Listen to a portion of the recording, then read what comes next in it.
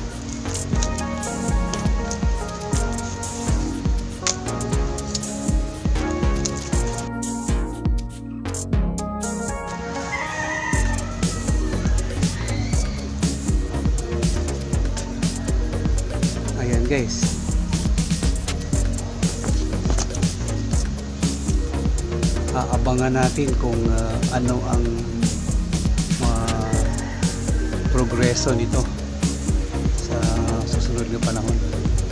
Okay? Ayan. oh.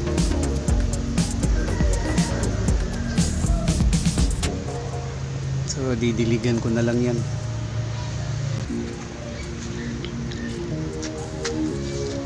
Ayan yung kabuuan niya. Ayan, ayan. Ayan guys.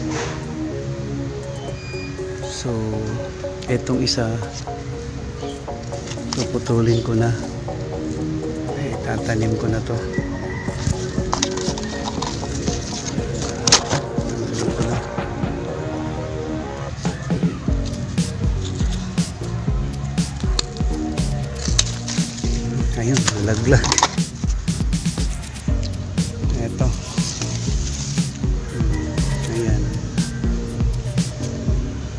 Ugat na.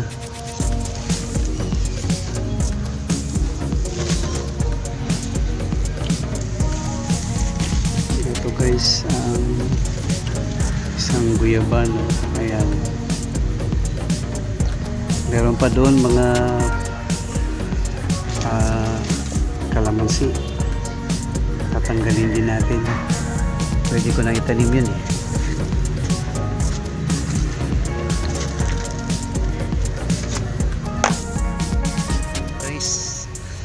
Mga minarkot ko na yan, kalamansi.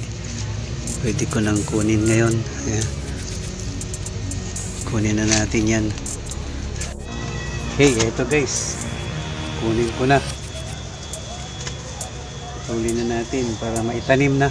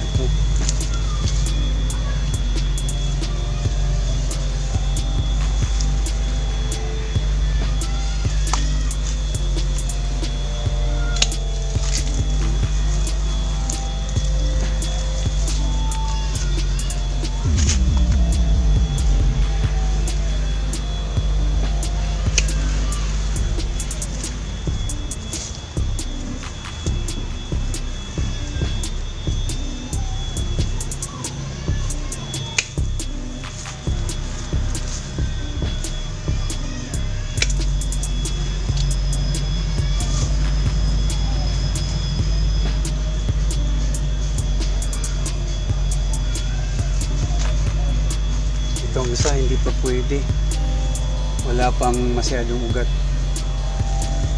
Iwan muna natin. to.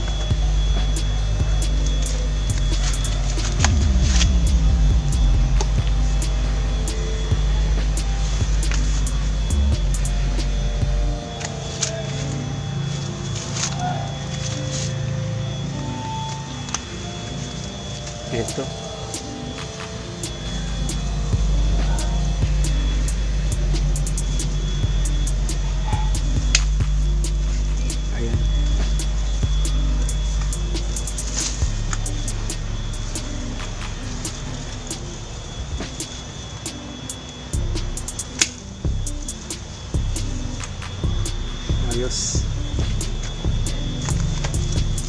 Tatanim na natin to.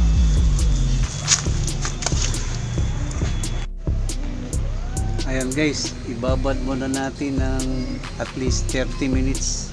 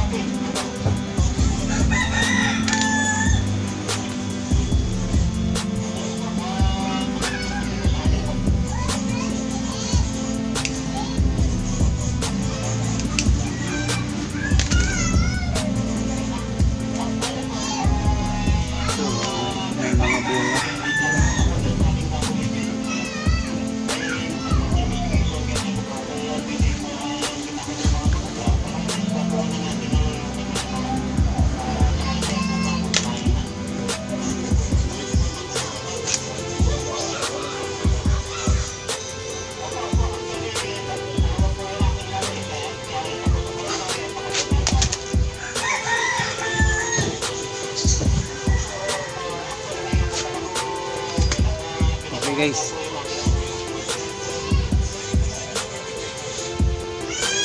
Iwanan muna natin at least 30 minutes. Okay guys. Tatanim na natin yung mga uh, kinuha natin na ano, markot na kalamansi at saka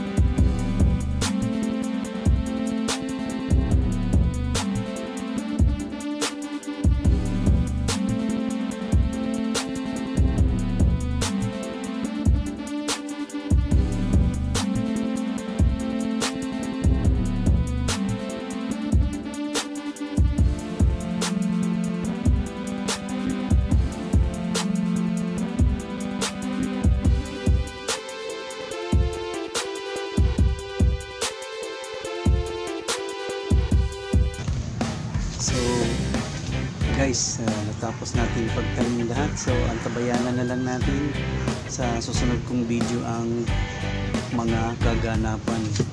Kung ano, buhay ba lahat o anong nangyari. Sige guys, hanggang sa susunod kong video. Thank you!